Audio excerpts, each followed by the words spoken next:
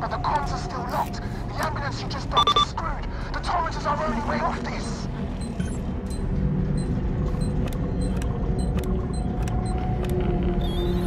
The lane just updated.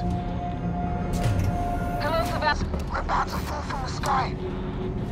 I'm trying to contact the Torrens, but the comms are still locked. The ambulance you just docked is screwed. The Torrens is our only way off this.